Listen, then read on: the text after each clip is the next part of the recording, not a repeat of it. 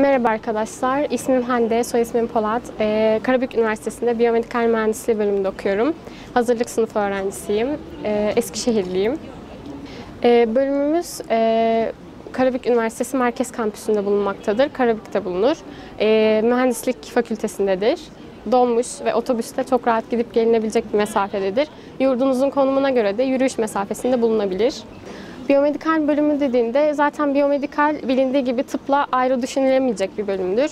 E, tıp bulunduğu yerde biyomedikalin de bulunması gerekmektedir. Çünkü hani e, tıpın gelişmesi için biyomedikale gereklilik duyulmaktadır. Biyomedikal zaten e, tıp alanında kullanılan her türlü aletin e, araştırma, geliştirme, e, üretim, tasarım, e, tamir vesaire işleriyle ilgilenen bölümdür.